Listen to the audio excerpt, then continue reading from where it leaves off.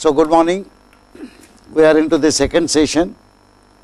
As I said, I will quickly discuss an example which was part of the laboratory assignment and then I will go over to the discussion of group projects uh, which we conducted at IITB.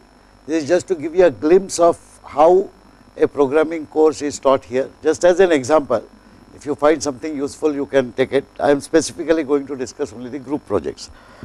There is uh, uh, another uh, important announcement. The news is that the Honorable Minister for Human Resources, Mr. Kapil Sibal, would like to talk to all the participants. The tentative time given is 1230 uh, so, we might interrupt our ongoing proceeding, proceedings uh, for a short while uh, to let the honorable minister address all of us and maybe I will arrange some interaction during that time so he can see how this workshop is going on. So, let us go ahead with the example uh, that I am considering here and that is the load balancing problem. Uh, I am uh, so this is nothing new we will very quickly go over it most of you have actually cracked this algorithm. I am just trying to show how I would logically arrive at the final program from the problem statement. Uh, and in the second part of course we will discuss the course projects in CS 101 which is the first year programming course at IIT Bombay. So here is the problem, there are two trucks, so each of which contains packages having different weights we make an assumption that all weights are integers. It is an incidental assumption and there could be interesting variation to the problem if the variation if the weights were sort of fractional and then we would come to the nearest weight etc etc but that is not the problem at hand. The problem is we wish to balance the load in both the trucks and wish to find out if it is possible to swap exactly one pair of packages between two trucks to achieve this. Incidentally, I got a query uh, from uh, one of the participating teams that if the number of packages are same in both the trucks, they believe this problem can be solved. However, if the number of packages are different, they do not think that the problem would have a solution. I would like to submit that they are wrong on both counts. First of all, the number of packages in each of the trucks uh, does not matter.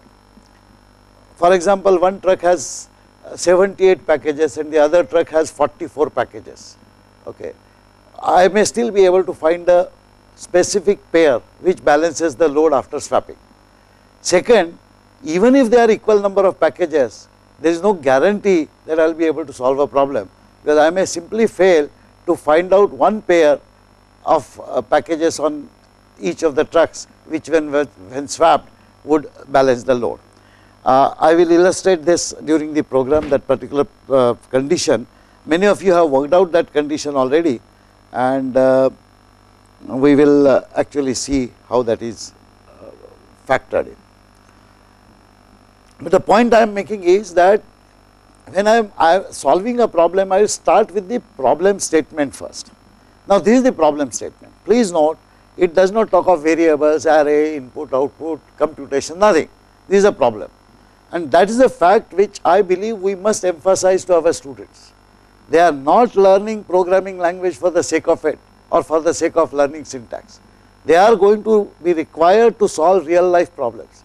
Real life problems do not come defined in an algorithmic fashion the way we often tend to ask questions in our exams. Real life problems typically come in this kind of form and we may have to translate this language into our data structures, our algorithm to attempt to solve this problem. So that is the key point. So I have tried to go through the process. So this is the problem statement. Now let us look at initial thoughts on the program design. So first question that occurs to me as a student, how should we represent the problem data?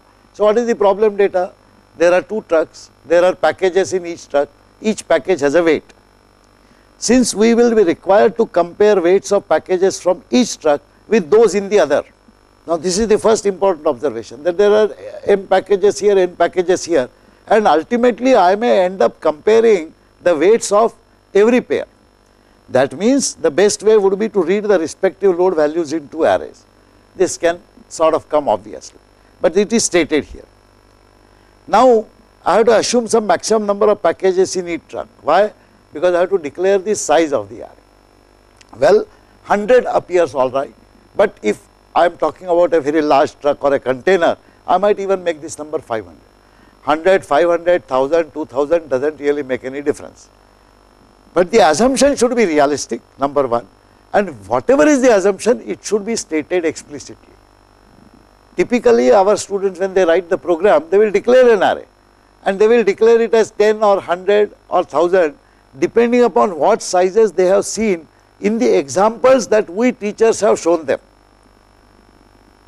So, if for example, up to the point all arrays that I have declared have a size 10 or 10 by 10, then intrinsically every student will tend to write a size of 10.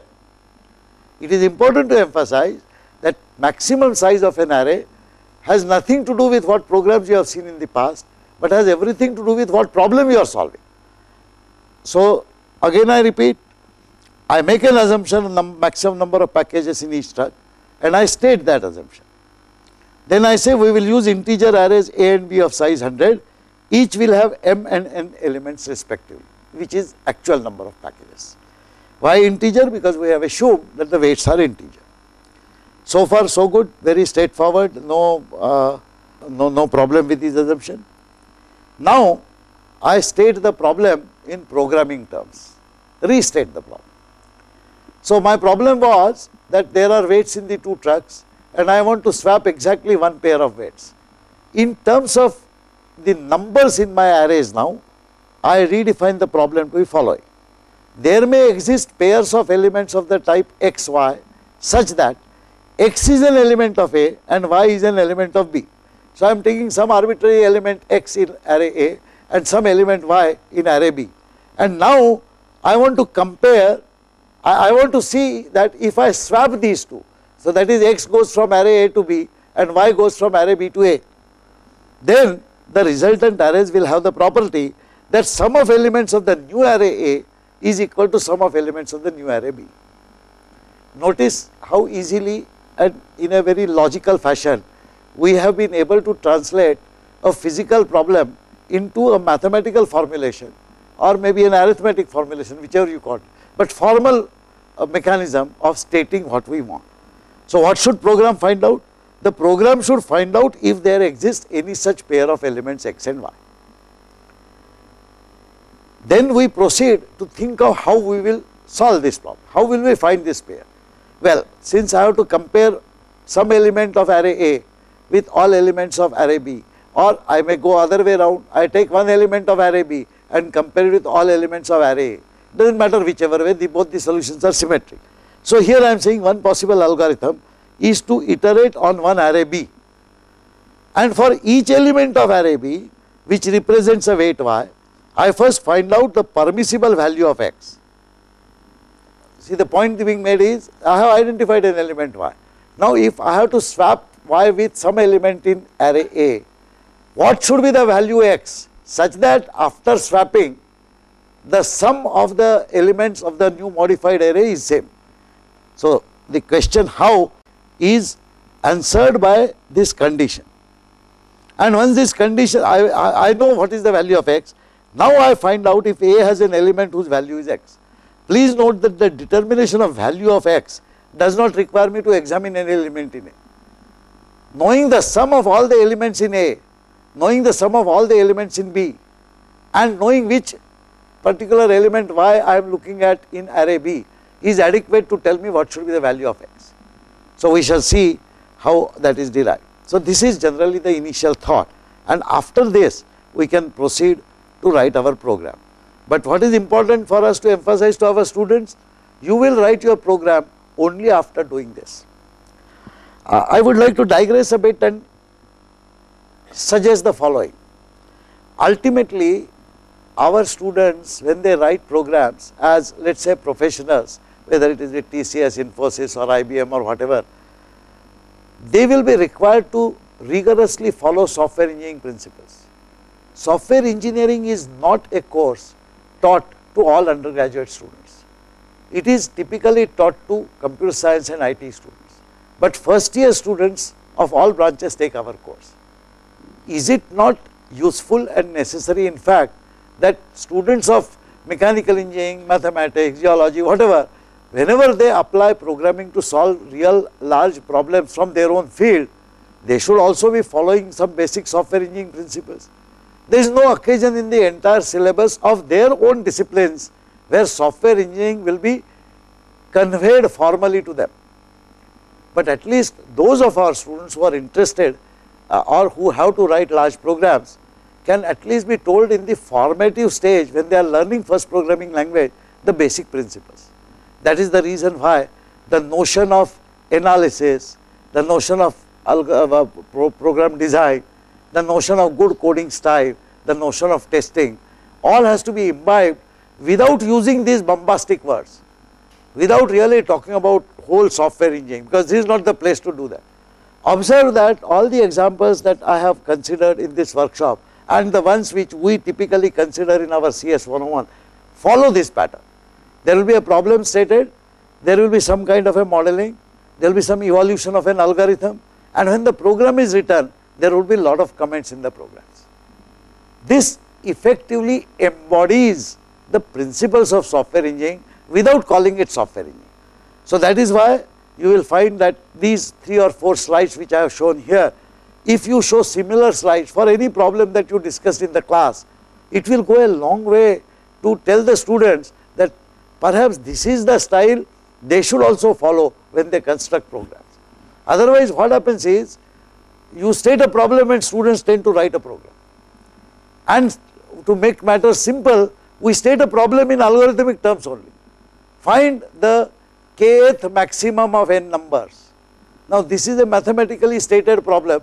It is well understood and very easily mapped into a sort of programming paradigm or programming model that they have. They do not have to exercise their mind. Unfortunately, in real life, generally never ever our students will be required to write programs for such well defined problems. That is indeed an additional purpose of programming projects which I will explain later on. So sorry for the digression, but I thought this was an important aspect, so I will, I will uh, mention this.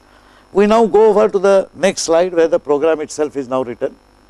So this is a program for load balancing. It has the usual includes, it has integer arrays A and B, M and N are supposed to be number of elements in each of these representing the weights. I, J are sort of index variables you can guess.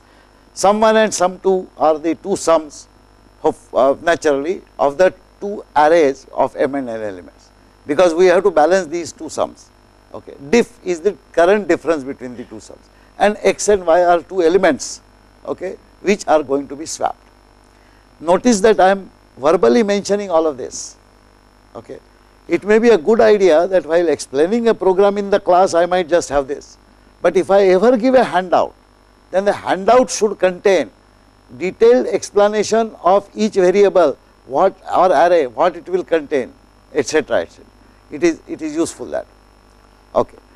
Now read numbers into array. So I read m, I read m elements of uh, array A, then I read n and I read n elements of array B. So far so good, nothing nothing very uh, difficult to understand. Now I find sum of all elements of each array because that is what I have to balance. Simple iteration, sum 1 is 0 for i equal to 0 to m minus 1, sum 1 plus equal to a, sum 2 equal to 0. The second iteration should run from i equal to 0 to n minus 1. Anyway, now for i equal to 0, so I have found out the two sums. I find out the difference. If the difference the absolute value of the difference, absolute value of sum 1 minus sum 2. So, that means the diff parameter is always positive. Now, I do a very interesting thing. If diff modulo 2 is not equal to 0, what would that mean? Diff modulo 2 can be either 0 or 1. If the remainder is 0, that means the difference is an even number. If the uh, diff modulo 2 is not 0, means it will be 1, then the difference is odd. What is the significance of this? Well, the significance is that if the difference of sums is not even, then the desired elements do not exist. This is actually the condition. So, it is not the number of elements in each array or each struct, but it is whether their sums of the weights differ by even number or odd number. If they differ by odd number, you cannot find a, a pair. This can be proven theoretically. Uh, uh, for those who are interested, I would suggest that take uh, uh, one sum to be odd, another sum to be odd, one sum to be even, another sum to be even, and one sum to be odd and another sum to be even. So, when the both the sums are even or both the sums are odd, the difference will be even. But when one sum is odd and one sum is even, you can prove that no x and y can ever exist. Anyway, so this I leave it to you. It does not really matter even if you do not find it, but if the sum is odd, uh, the difference is odd and you proceed with the algorithm, you will not get anything. So, this is basically you are reducing the unnecessary work of the computer. Here are a load of comments. Now, locate the elements meeting the criteria if x is element of A and y is element of B, we need to find x and y such that sum 1 plus y is equal to sum 2 plus x. This is the balancing part. I find x from array A whose sum is sum 1. I find y from array B uh, whose sum is sum 2. When I swap them, y will go to sum 1 and x will go to sum 2. So, sum 1 will be actually sum 1 plus y must be equal to sum 2 plus x or x is equal to sum 1 minus sum 2 plus y. In general, for some j, we are looking at bj, then for some i, we must have ai equal to sum 1 minus sum 2 plus bj. Rest is technique, we can see how this is implemented. So, I just say for j equal to 0 to n minus 1, start with sum bj, find desired value x. So, bj is actually y now. So, x is equal to sum 1 minus sum 2 plus bj. Search for x in array A. All that I do is I locate, I go through all the elements of array A. Okay. Just for the sake of uh, later discussions, please remember the iterations that we are setting up. This is an outer iteration which executes n times, okay, 0 to n minus 1. For each of these iterations, I take up some value in array A Okay. So, again the value I am choosing is from 0 to m minus 1. Okay. That means, if m and n are roughly equal, then I am actually running two iterations, uh, one nested inside the other and the internal comparison is ai equal equal x will be executed roughly n square times, here n into m times. Just we just record this fact. We can go through this and discover it later by relooking at the program, but effectively if I do find such a thing, I will output AI and BJ. These are the two elements which need to be uh, which need to be swapped. Else break. Break is a statement which says I have not been able to find anything, uh, I will I will abandon the search. Now I will analyze the algorithm if m is equal to n, the problem size is n. In our program, we have an outer iteration executing n times, every time considering one value from the array B. And for each outer iteration, we have an inner iteration also executing n times. Notice I am presuming m is equal to n. Please note that when I do analysis of algorithm, I am actually interested in finding out the complexity of the algorithm. As some of the later slides will show, this is not to be confused with the execution time which is given in minutes, seconds or hours. That has nothing to do with uh, analysis of algorithm. Analysis of algorithm is to find out the order of complexity. Okay. So, order of complexity remember we said when size tends to infinity that is when we want to find out the order. That is why m and n both are integers roughly similar in nature because both max, maximum values are 100. So, there is no harm in assuming this for the analysis purpose. Now, we are checking every value in A for each value in B and therefore, the complexity of this algorithm is order n square because the innermost computation in this case a comparison is executed n square times. So, as n increases whatever other parameters will um, um, move away and the order will remain n square. Now, suppose I sort array A then I can use binary search on array. So, this is what I have indicated. If we search A using binary search, the inner iteration will execute only log n to the base 2 times. So, instead of executing n times, it will execute log n to the base 2 times, significant reduction. And therefore, the complexity of our algorithm will be not n into n or n square, but it will be order n into log n to the base. 2. And algorithmic complexity of n log n to the base 2 is decidedly a uh, much better algorithm or more efficient algorithm than order n square algorithm. I would like to take this opportunity because I saw there was some confusion uh, because of the terminology that I had used probably in a hurry I made perhaps some mistake somewhere. You know when explaining the order of complexity of the algorithm, I started with execution time, an equation for execution time and then extended that logic that when size tends to infinity, what would be the predominant term and we said that will be order of complexity. Unfortunately, in the process, some of the participants have got a notion that the execution time which we measure through the time command is the algorithmic complexity.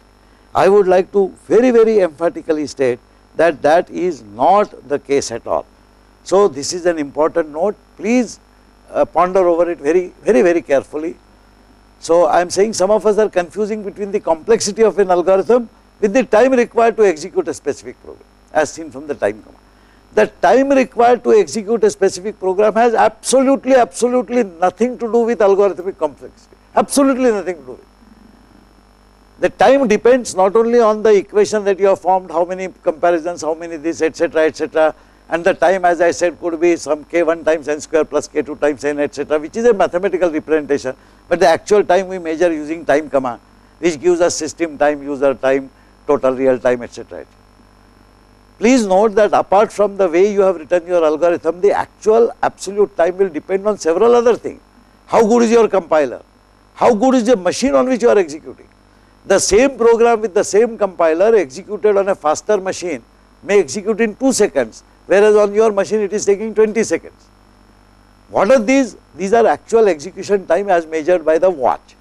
These execution times are important to us because we want to know how long a program takes to execute. But how long a program takes to execute measured in real time in clock has absolutely nothing to do with algorithmic complexity. Thus, we should not use terms like reduce complexity by 6 seconds or user complexity or system complexity. This term is wrong.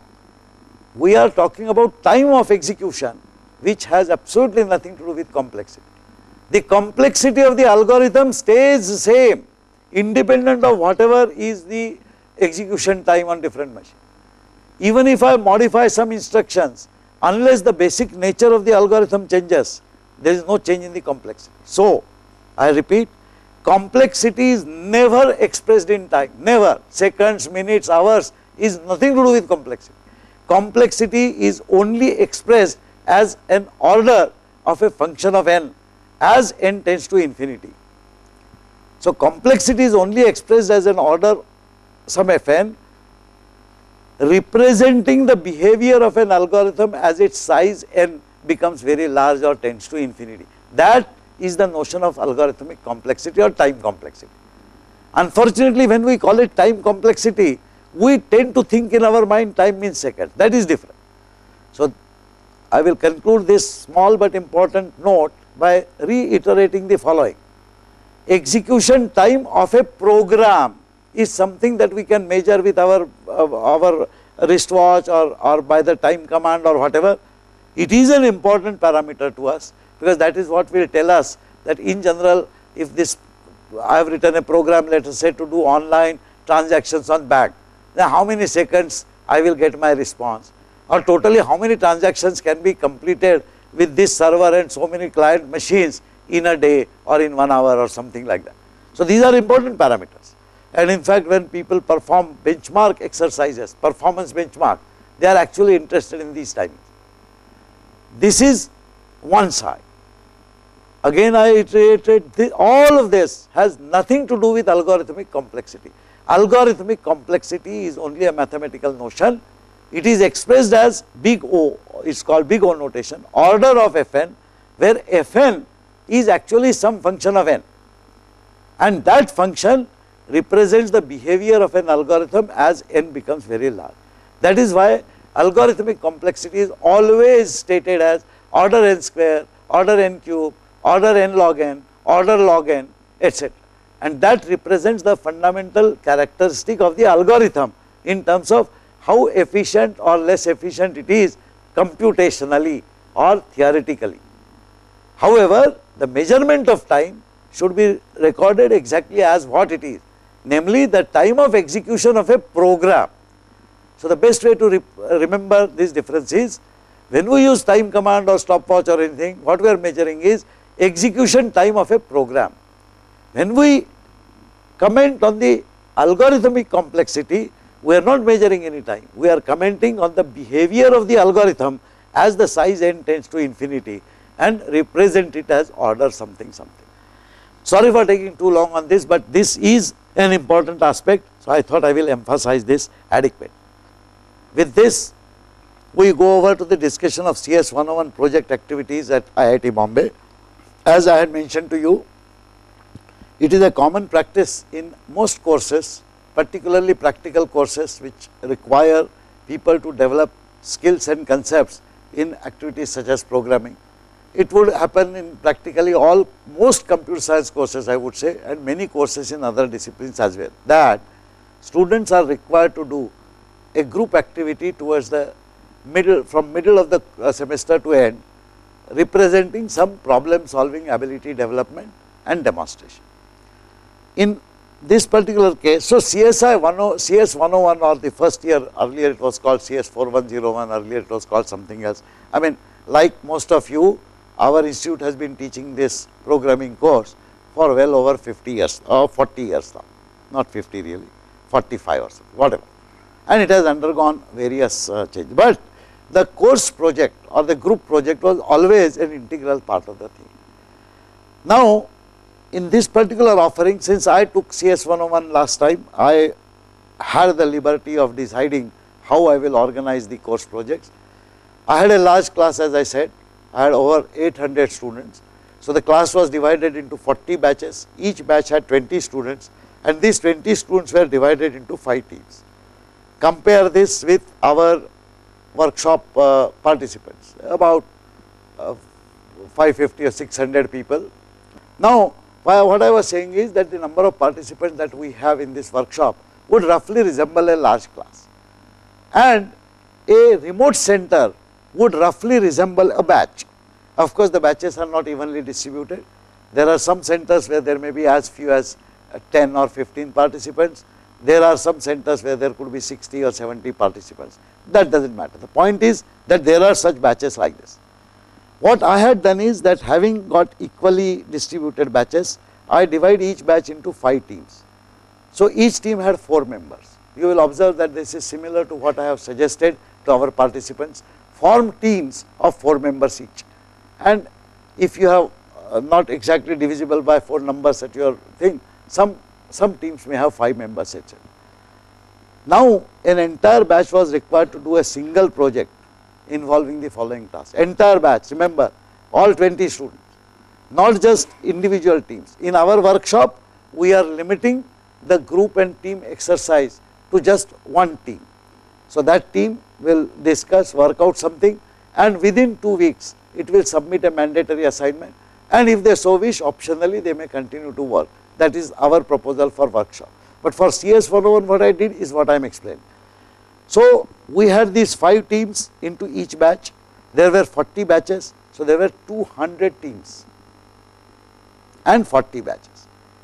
Each batch was required to do a single project involving the following tasks task 1 which had 25 percent weightage for the whole course which was a programming project. This is the team project except that the team size was much larger. What we are calling team here this was batch. So, there were 5 teams together working on a single problem, 5 teams together working on a single problem and there is more to it I will explain. Task 2 of 10 marks which is 10 percent. By the way we have a total of 100 marks which we calculate over the semester. There is no sanctity for 100, my total could be 120 marks or 84 marks or whatever because we have relative grading, but we generally describe different weightages in terms of percentages. So, indeed the task 2 had 10 percent weight, task 1 has 25 percent weight. 35 percent of the total evaluation weight in this entire course was based on these group activities. The mid semester and end semester where I think uh, uh, 20 percent and uh, another 25 percent or something and there were some lab assignments whatever. So, you can see that students took these projects very very seriously because there was a large percentage evaluation attached to them. Okay. What was the task 2? Task 2 was preparation of quiz and exam questions along with answers. Sounds simple. Now, let us look at the specifications of doing this. Programming projects were defined to be open ended projects. What is to be done is not well defined. So, it is not even like a truck problem. Now, I would like to suggest why not only me, but all my colleagues in IIT and most people who take the problem solving approach for teaching programming believe so. Namely that in real life no problem will come very well defined and yet you have to figure out that A what do you want to solve and B how to solve it. So, in an open ended project what is to be done is not well defined. Second when there is a teamwork involving 20 people that will mean there are skewed efforts. This is something that you would have noticed. I have noticed it in most engineering colleges when I interact with the students. Typically our students in other colleges do a group project only as their final year project. Typically the groups are 3, 4 students each. Invariably even in a 4 student team you will find that there are 1 or 2 sleeping members that means they work very little. If they are smart, they will understand what is being done. So, if you take a Viva, they can explain everything to you. But if you ask them how much they have, uh, if you really ask them honestly how much work they have done, you will find that they have done no work. Now, these are two extremes. In a team, some people do all the work, some people do, do no work. However, even if everybody puts in the effort, it will so happen that the amount of work both qualitatively and quantitatively done by different members of the team will differ. It is natural, there is nothing wrong in it. So, let us not imagine that we must force every student to put in exactly the same amount of work and to expect that is wrong according. So, we have factored this possible not possibility, but fact into account while doing our evaluation I will explain how. So, teamwork will mean skewed efforts, but we emphasize that the learning here will be unique and important. One, you learn to take decisions. You learn to take decisions about algorithm that you will use. You learn to take decisions how many functions you will write. You learn to take decisions about who will write which program in the team. You learn to take decisions who will do variety of other work. So, spend time on deciding in naming conventions, file structure, memory and data structure, identify functions, write stubs. Stub is a, a dummy function which does not implement the desired computation while testing it actually takes in whatever value and returns the correct value. What is the objective of a stub? You, when you are writing the rest of the program, you do not depend upon somebody coding this function completely before you can test your program. You can write a stub and test your program, later on somebody from the team may write the details in that function. Now this is a neat and natural software engineering trick which the teams follow. Okay. We are introducing that sort of uh, naturally to our first year students without again mentioning anything about software engineering as we said. So, these are the programming projects. Project groups were formed, there were 10 groups. Remember I said there are 40 batches. These 40 batches actually were divided into 10 groups. Okay. Each of the group together works on 4 projects RCDA. Let me explain what was this RCDA. This was by the way first time even in IIT we did such an experiment where I assembled really a very very large group. So look at 10 groups means what? If there are 800 students all divided into 10 groups then each group has 80 students. So 80 students are working on four related projects. What are these RCDA? Let me just explain, it is not written in the slides. The project I had chosen for them was the project involving using fingerprint identification. At that time I was working on the uh, National Committee on Biometric Standardization for the most ambitious program that government of India has undertaken. Uh, our well known friend Nandan Nilekani is heading that. It is the unique ID project for the country.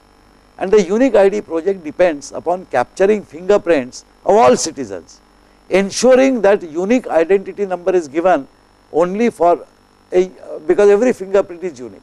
So there is no duplication. I cannot for example uh, register as Deepak Phatak at one place and Shamlal Sarda at another place with the same fingerprints. So even if I go to some other village and give my fingerprints, the registration process is supposed to catch that. Subsequently when I am registered, if I go to a bank, uh, I can I can actually put my fingerprint and and uh, do that application. So do a banking transactions. So these were the four projects that were given to the group. R stood for registration, C stood for consolidation where they consolidated fingerprints of all the students in that batch, D stood for deduplication though deliberately some student will try to register twice and the deduplication team is supposed to analyze those fingerprints and remove that and A stood for application. They have to write a simple application most uh, groups uh, teams ended up writing an application for attendance or some such thing. Uh, well, I will continue with the discussion on the on the groups, uh, but I am told that uh, MHRD is logged in. First, I will go over to MHRD to see uh, who are the people in attendance. They are connected on AView. Good morning to you, sir. I am Professor Phatak from IIT Bombay, and uh, uh, there are about close to 1000 teachers participating from 30 remote centers they belong to more than 200 institutions and we are delighted to see that you could find some time from your busy schedule uh, to watch us and talk to us. I would request you to kindly address the participants briefly. Over to you, sir. Professor, it's uh, uh, you know you are you have the stage to address the participants, not me. Uh, all that I want to say is congratulate you. Uh, this is uh, I want to congratulate um, um, um, the ministry. I want to congratulate all those who are participating in this program to make this possible, because this is the future. Uh, the future lies in uh, in communicating with each other through long distances. The future lies in in in uh, allowing uh, the delivery systems of education to change, because in the absence of uh, the physical presence of faculty all over the country because of shortage of faculty. It's only through uh, processes like this that we'll be able to reach people. Uh, and you are doing human service uh, to society, to government, um, uh, to the public at large. And I hope that programs like this um, continue far more frequently through the system that you have put in place. I congratulate you for this and I congratulate the ministry for making all this possible. Thank you. Thank you, Honorable Minister. We are not just delighted, but we are enthused by your words. I would like to assure you that we will leave no stone unturned. We have started with just 30 centers and 200 colleges, but it will be my ambition to try to use this technology to reach all 4000 plus engineering colleges in the country so that any single teacher or a student, even in the remotest place, should be able to get the best of knowledge which will be culled out from all the participating teachers. Thank you, sir. If you are going to be there for two. I want to say one more thing that this is, uh, this is I think, the best example yes. of inclusiveness. Uh, this is really the meaning of inclusive education. You include within your fold uh, a thousand children or two thousand children or five thousand children uh, um, through technology. And it is technology that can make a difference in this country. Um, so all of us should, instead of being fearful for, of technology, should embrace it. Uh, so uh, uh, this is really a, another another thought that crossed my mind and I want, wanted to share it with you. Thank you very much and all the best. Thank you very much, sir. Well, dear participants, that was the Honorable Minister of HRD. Uh, please understand how the program is being appreciated. I would like to tell you at this stage that this entire program would not have been possible without not just the funding from MHRD, but an extraordinary support in all logistics and great encouragement. I would like on behalf of all participants to take this opportunity to thank uh, all the people in the ministry in general and in particular one gentleman Mr. Sinha who is the joint secretary and who has been single-handedly pursuing this important project. Our thanks to you sir, thank you over and out. So I was describing we could come back to this uh, project but indeed I am I am so glad to see that this entire activity of arranging such workshops has the support at the highest level from the country's top uh, political leadership, not just the top bureaucratic leadership. When both combine, I think we have a long way to go. I think we are really fortunate and what it means is that in coming years, we will have more and more such workshops in more and more expanded versions. Uh, IMCC Pune wants to just say something. Over to you. Can, can you just uh, request the, uh, Dr. Sinha to uh, give the NKN connections and NKN proposals of all the institutions who are participating in this particular workshop because we are eagerly waiting for that particular uh, NKN uh, project. Thank you very much IMCC and I think all our remote centers will agree that one of the problems that we have is lack of good and reliable bandwidth I would like to pass on this request directly to Mr. Sinha. Kindly give us all the participating centers connectivity through National Knowledge Network because then we will truly be able to exchange ideas without any delays and with the best quality audio and video. Uh, I assure you IMCC Pune and of course all the remote centers that even if Mr. Sinha is not personally there, I will take it upon myself to ensure that this request goes to both MHRD and to Dr. Chidambaram who is heading the uh, National Knowledge Network initiative and we will ensure that each one of the 30 remote centers will be part and parcel of these NKN within a few months of time. Okay, we get back now and we get back to work. So, I was describing the project groups. Now, we said group will have 4 lab batches and each lab batch will work independently on one project. The four lab batch coordinators together will be responsible for taking decisions on all design. So notice how the leadership is set. Each lab batch, okay, which is part of the larger group. So there are 10 groups, each group has 4 projects, each lab batch works on one project and each lab batch has uh, 4 teams of 5 members each. So, 4 lab batch coordinators together will be responsible for taking decisions. So, a leadership is defined just as we have asked you to choose a leader, a leadership is defined for these projects.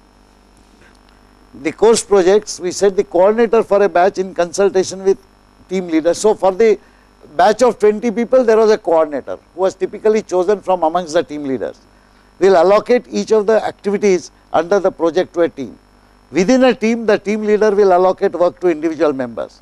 Since the work involves not just programming, but also testing, documentation, data and file management, schedules, meetings, etc., there is considerable flexibility in the allocation of work. I believe it is important to tell our students early enough what a real life of a programmer or programming professional is when a student passes out of our institution and goes out, whichever field. Programming projects are never one individual projects anymore in this world. Okay. It is not uncommon to find anywhere between 10 people to 1000 people working on a single project. Indeed, that is what is the matter discussions under some aspects of software engineering, team organization, teamwork and so on. Here the attempt is to give them a glimpse of that kind of activity here. So, here is the expectation minimally every student should write at least one program or function for his or her team and additionally should carry out at least one common task for the batch or team. So, notice that a programming project finally submitted by a batch of 20 students could be anywhere between 500 lines of code to 1500 lines of code. It is not expected that every student will contribute exactly equally to the programming effort. Although it is a course in programming, the project is about solving a problem and problem solving in a group work involves so many things. That is why I have defined the flexibility that allocation has. Then we say each student must maintain a record of the time spent for the project and specific work done in that time. The categorization of nature of the work could be as shown in the next slide. So, these are various categories of the work which people have to do. Notice the kind of activity, discussion. So, if they record a discussion, names of participant, nature of discussion, decisions taken, etc. Design. So, what is the design for data, files, algorithm, function, program? Actual programming, that is coding, testing, documentation, report writing, then logistics. So, for example, it was a problem was about fingerprint capture, fingerprint comparison, etc then maintaining manual records of fingerprints collected, uploading files, CVS, you know concurrent version control system is what we use to manage the, uh, the code development phase. Okay, I will, I will explain this under the miscellaneous topics briefly. It is an extremely important uh, utility at the back end. Such control version control systems are mandatory whenever large teams are developing projects. And additionally, I said miscellaneous. So, observe that Although it is a programming project, the list of activities contain everything including programming and all of them I emphasize are equally important. There is nothing less important and nothing more important. So, minimal expectations every student must write some program whether that program is 10 line program or 100 line program is left entirely to the team to decide. Next, each student must submit the diary entries in the form of a common electronic document on a weekly basis. The format is to be decided by the group, a simple text format was suggested. Finally, each lab batch will count the weekly total of person hours spent by each team of the lab batch and by the batch as a whole on the project. And all individual diary entries for the week in the form of a single consolidated document is to be submitted to batch junior teaching assistant. Well, this is something we are fortunate about. I had uh, 60 junior teaching assistants, 60 of MTech students attending IIT Bombay Computer Science program in the first semester assist in the uh, CS101. I will later on comment how even in your colleges you can do a similar activity albeit slightly different and we said they must also upload it on the Moodle. So, much of it was sort of automated. Submissions, all submissions are due midnight of each Sunday and there were penalties if the submission was late by as much as 2 minutes or 1 minute or even 1 second. So, midnight is midnight. I said this is a hard deadline. The submission need not be perfect, but it needs to be complete and in time. I would humbly suggest to all participating teacher colleagues that it is very, very important to stress the aspect of timely submission. Ordinarily in the entire engineering education we insist on this, but rarely this happens. Even our examinations we announce some dates then it, there is a postponement, practical examination in the morning there is a postponement. In professional life such things do not occur. If there are project deadlines they are required to be met and I think it is a very good idea to use this opportunity of a first year course in programming to teach them some discipline about hard deadline. Believe me there will be instances when the students will not keep up with that or whatever. But my suggestion is never change deadlines once you define them, but you may give them a lighter punishment for not meeting the deadline, not the harsh punishment. So, here is a suggestion do not wait for the last minute, target your submission by Saturday midnight. Incidentally, in 95 percent of the cases even from the large class of 800 students we had timely submission and this happens when you make your rules absolutely clear on day 1 and on the first occurrence of a mishap you refuse to relent, do not extend deadlines. Okay. Each weekly submission will include consolidated diary document for the week, any design documentation partial program code, all files directories should be put together in a single tar and uploaded on the batch Moodle. Notice that there is an incremental submission. If we just ask them to submit their final project, then we have no clue on how the progress was made in the project. Not only us, even student teams themselves have no clue how they have progressed. But if you keep a weekly assignment and with the general breakdown of activities and timetabling that the student teams would have done, you will be able to gauge whether the students have worked only in the last moment to do something or whether they have worked progressively. The interesting part is the project evaluation. The project evaluation was done in two parts. Remember I told you there were 25 marks for the project, 15 marks for the entire lab batch was decided based on their report, based on their diary submissions, based on their quality of the work and based on the quantitative. This was done jointly by the batch junior TA and the group senior TA. Each group of 40 students had a senior MTech student as a TA and 20 students each had a junior TA. So, these 5 people decided the lab batch grade. These marks typically were first, I mean broadly they were classified as categories A, B and C.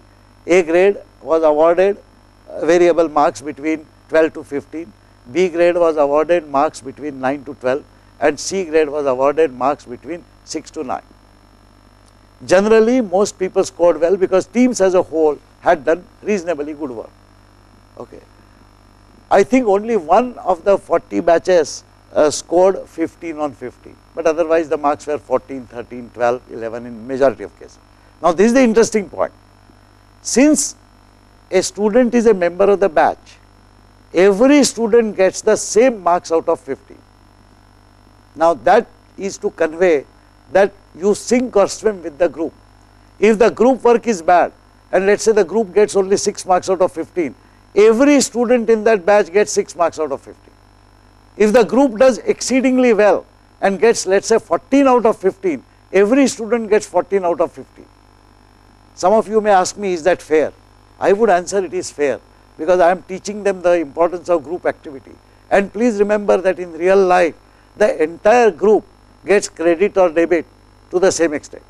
Individually the group members may know who has worked more, who has worked less, who has contributed more etc., etc. And for that there is a second component. These two components I found that are extremely good components to describe the evaluate or to, to evaluate the individual's activity. One as part of the group. So 15 marks for the uh, each student gets the same marks. 10 marks however for each student are based on peer review. Actually these 10 marks for the individual effort. How much effort an individual has put in? Now the question is how do you judge this? Those of you who actually and many, most of you would be conducting or giving some kind of a programming assignment or something to a group. Those who have attempted to do that will probably agree that the standard way of evaluating students is to, uh, to conduct a Viva. So, they submit a project report, 4 or 5 students whatever is in a group, they sit in front of teachers and teachers ask them questions. They make a presentation, maybe a brief presentation. This is exactly how we used to evaluate group projects earlier by the way. Our groups used to be 5 or 6 people. Since we no teacher can evaluate 800 students, the teaching assistants would that do that job. You will agree that MTech students, uh, I mean very smart students and coached properly in the teaching assistantship, they are as good as teachers, there is no difference. Anyway, but one big problem was that when I am taking a Viva, then usually I am unable to judge the quantum and quality of work done by every individual student. My judgment is based on the answers that student gives me. And here is the possibility which I have seen occurring many times. I would like to see your experiences. I have four students. One of them has done extraordinarily good amount of work, but is a shy type, does not speak well. Maybe I will not give him 10 out of 10 maybe I will give him 6 out of 10 because he fumbles or whatever. There is another extreme, a chap who has done absolutely nothing, but 2 days before the Viva, he has spent time with other group mates and say, Arey, ye batao, tell me this, tell me that, tell me that. He is smart enough to understand what the work has been done. And then when you ask questions, that student gives an elaborate explanation as if everything he has done. Is it not likely that we may mistakenly judge that student to be the best performer and give him very large marks. Believe me, I have seen this happening many times in the Viva. Misjudgment. Okay. So, the process that I followed and this was followed for the first time for an undergraduate course in IIT. I have been following this self-evaluation scheme in my postgraduate courses on information system for last 3 or 4 years. Postgraduate students are supposed to be mature, the scheme had worked very well. I tried it for the undergraduate students and it worked very well also. I will show you what the scheme is. I call it peer evaluation. So, let us see how the students are evaluated by their peers. Who are their peers? Students themselves. So, effectively we say that peer review process is as follows. As I said perhaps never attempted by any of you earlier, but good time to learn. So, I told the students that so far in all your life you have given examinations and somebody else has evaluated you and given marks. So, you may never have given marks to yourself. So, I am addressing you meaning the students and then I say good time to learn. So, my instructions to the student award marks out of 10 based on the quantitative and qualitative contribution by each student. What is the process? First initial inputs from the team leaders. So, team leaders will discuss with the team members and allocate marks out of 10. Then scrutiny by the coordination committee of all team leaders in a batch because different team leaders may award different marks. So, these team leaders will sit down. By the way, this does not take too long. The first meeting typically people have reported took about 15 minutes, but it was a formal meeting. The second scrutiny meeting took about another 15 to 20 minutes. The longest what took was the last meeting. Finalization in a group meeting where every student defends himself or herself. So, notice there are 20 students sitting together in a huddle. Each student has been awarded some mark by the team leaders based on the team leader's judgment and the com composite judgment. Now, suppose I am a student and I have been given 5 out of 10. I will say why I have done more work. He has done less work than me and you have given him 7 marks or somebody has been given 10 marks. These arguments need convincing within the group. Now, here is an important point.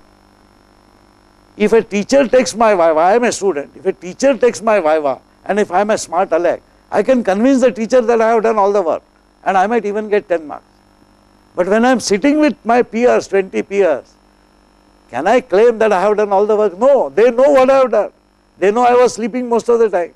They know I have done nothing. Indeed, there have been cases in the peer evaluation where some students have been given 0 out of 10 marks. So, this is the power of self-evaluation. Of course, one question that I was asked when I initiated this scheme by some of my colleagues is, Phatak, how do you ensure that they are truthful? What if they lie? What if everybody is given 10 out of 10? What is the safeguard? How do you judge the accuracy of the peer process? So, here is my answer. I may choose any two students from a batch and conduct a rigorous viva. How will I conduct the rigorous viva? Examine their diaries in detail, asking questions to corroborate the details. If the diary said, if they have fetched the diary for example, the diary said they discussed such and such thing on this day, I will ask them describe the discussion. It is a technical discussion. If they have not held discussions, they will not be able to describe. Ask questions to the on the specific work they claim to have done. Somebody claims I have written this program. If he has not written this program, believe me, uh, as a teacher, any one of us can uh, actually catch that in 5 minutes time. Notice that I can't do that with 800 students, but I can always do that with some sample 10 or 15 students across the whole thing.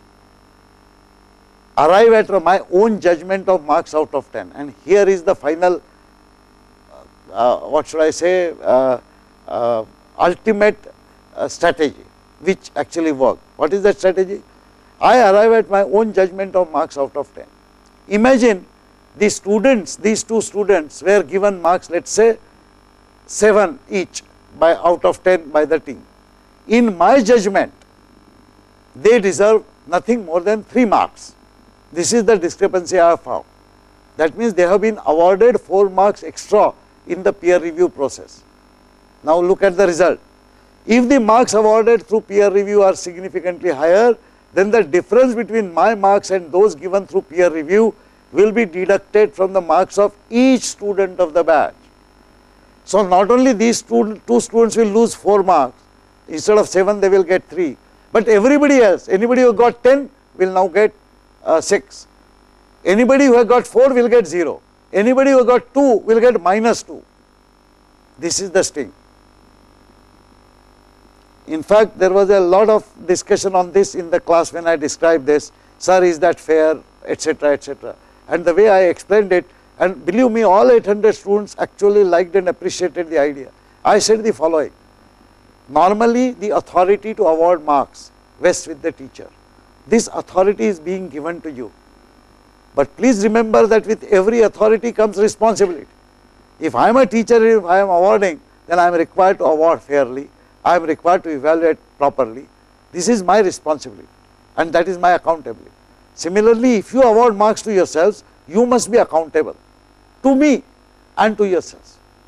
They agreed and this was a roaring success. By the way, I did do a, a, a, sample check at some places, I did not find any discrepancy. These were the final observations.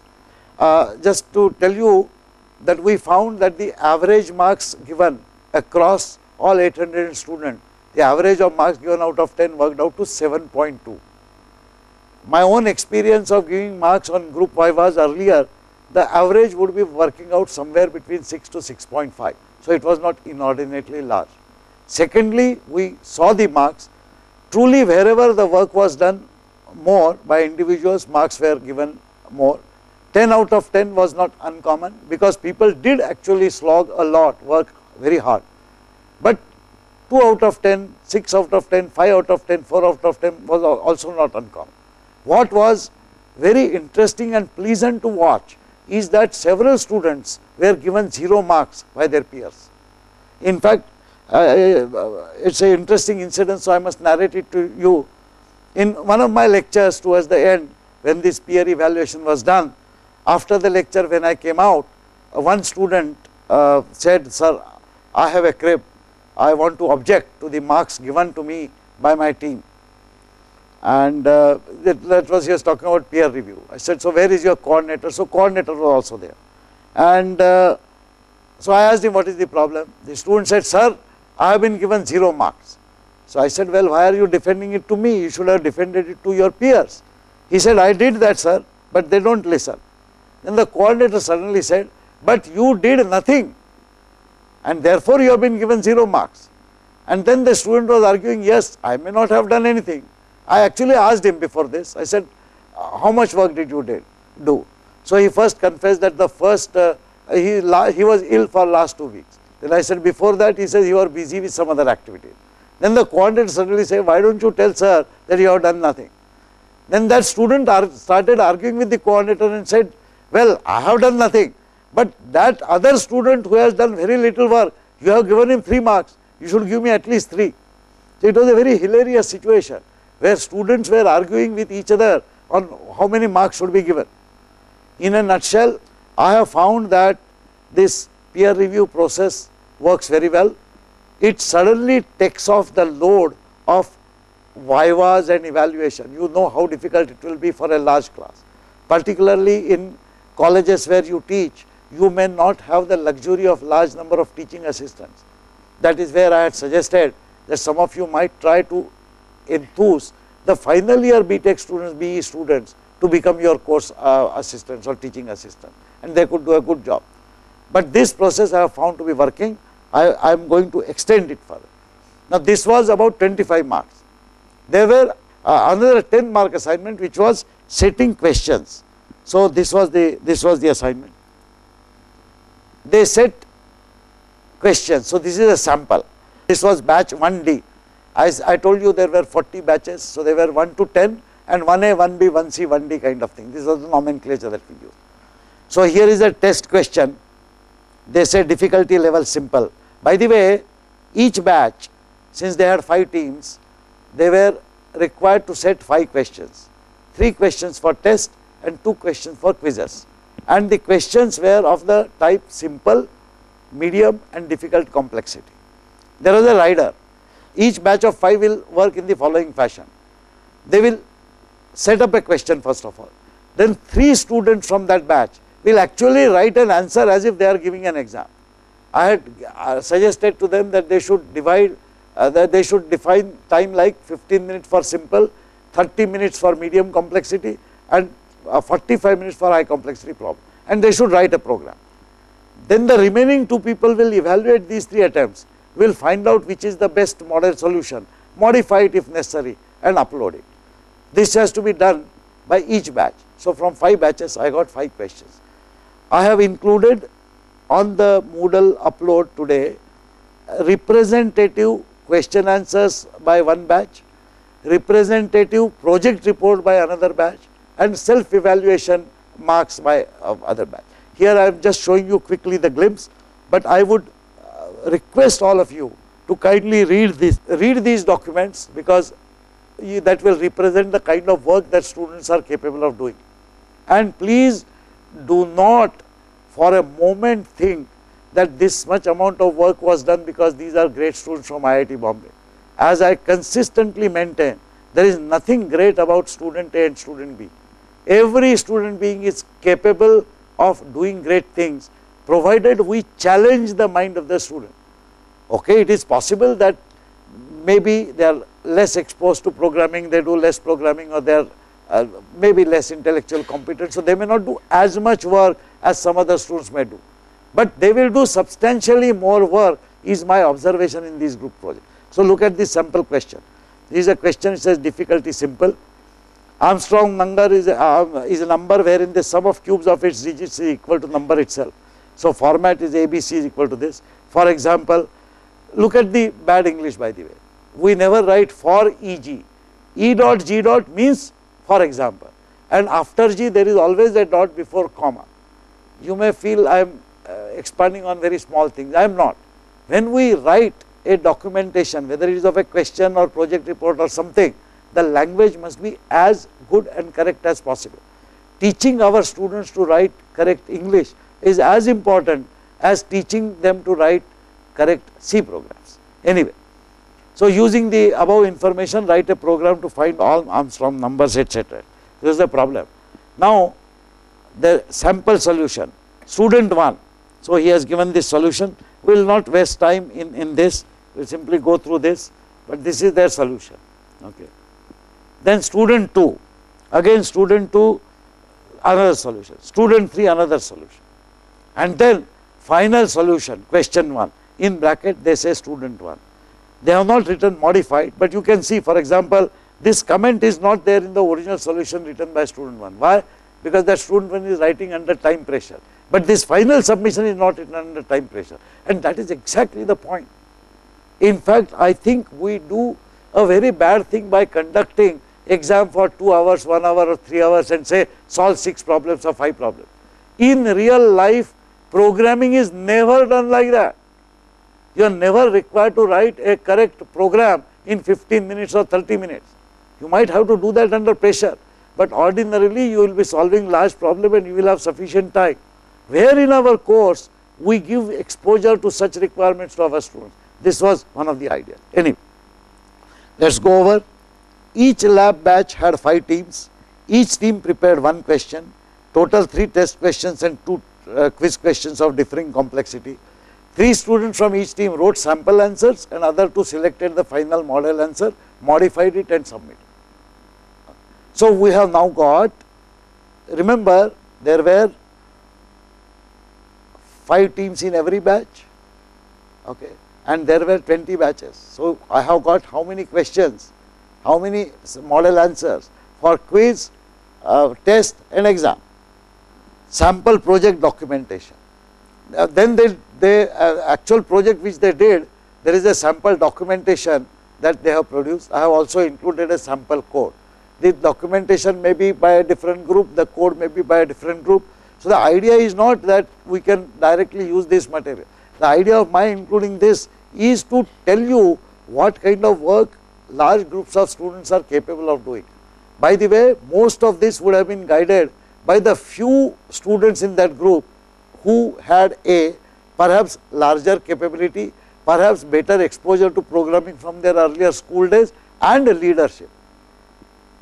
This activity has actually helped the students to find their own leadership qualities and coordination qualities which perhaps lie dormant. You might feel that is it not wasteful of time which should be spent in pure programming understanding. I would submit that I do not agree. I think this is as important because all of this is integral part of any activity that you do including program and what they are doing is programming. You should see actually that the programs which they have submitted are really reasonably good program for the large problem. Here is a peer evaluation example. Team 1, roll number, name, marks. Then the task done, coding, uh, task allotment, discussion, test files and code documentation discussion, test files and code documentation, helped in coding discussion, main code developer, so he has been given 10 marks. By the way, in the same group there are people who have been given 6 marks, 10 marks etc., etc. All uh, I think there are 4 teams here so, all team uh, evaluations follow one after another like this. This was team 4. Why I have shown here is that while there are other students in that whole batch who have been given 10 marks, but look at a comment made here 09103021 Raunak 10 that is okay there are other with 10 total code and finalize it and then there is a comment best work in team 4. Please note that no matter how you evaluate we as teachers can never find out the best work in any batch. Only the peers know, only the group members know. Incidentally, this student is a 5 year chemistry student, he is not a computer science student. Although in this team there were some computer science students, some electrical students etc. Why am I stressing this fact? This is to stress that the knowledge of programming the enthusiasm to solve problems by writing programs, the dedication to work hard to get the program right has absolutely nothing to do with either your intellectual capability or the marks which you have scored in your entrance exam. And that fact uh, has been proven again and again and again. I would like to tell you to remember this. Expect the best out, of a surprise candidate with whom you have never seen that. Group activity helps us bring out all of these things. My proposal for next offering of CS 101 is, I will continue with the same approach, but I propose to increase the weightage of peer evaluation from 10 percent to 20 percent. Incidentally, as I told you, last time the class average was 7.3. Well, the purpose of this very lengthy discussion was to suggest that a group activity of this type could be an extremely important activity for students to really learn programming and applying the programming to solve a problem. I personally believe it is much better than going in a very just a systematic mundane way of describing uh, conditional iteration, arrays, uh, control structures, file IO etc., etc. Our syllabi unfortunately force us to do that. I had uh, interaction in the previous interaction people have pointed this out. You will remember the uh, remarks made by uh, I think uh, Professor Fauzia Manzoor from Kashmir or by several other people that the way we teach the course perhaps currently is not the best. In fact, yesterday uh, I had a long interaction because it was a sort of holiday for workshop. Our colleagues from uh, colleague participants from Nagpur decided to utilize the time to discuss what they would like to do and they had some queries to make.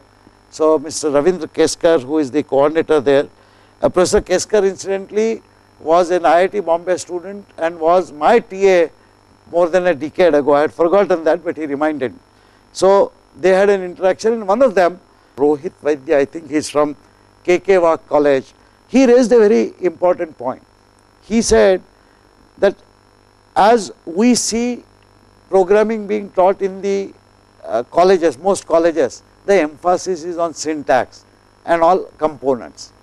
Whereas what we see in IITs and NITs and many institutions is that the emphasis on problem solving. And he said it is obvious to me now because he is doing his also doing his MTech in VNIT. So he said it is obvious to me now that that is a better way of teaching programming. Now here was his question. If indeed you are so convinced that it is a better way and we are also convinced then why don't IITs work to get the syllabus changed, to get the teaching methodology changed from AICT, from wherever it is. This was a hard question. It put the ball back into our court. Well, so let me tell all of you the things that we are doing and things that I promised. First of all, this workshop itself is a mechanism to interact with you, to share with you what we do, to learn from you what you do and evolve a mechanism which is perhaps better for all concerned. Can we enforce it? One way of enforcing it to get the syllabus changed. I have promised Mr. Vaidya that I will personally work with AICTE to ensure that serious thinking starts. Maybe computer programming may be a beginning course which may start this re serious rethinking of the whole process of evaluation, examination and teaching. I will do that over the next year for this course and I hope many others will do that. Over and out. Thank you.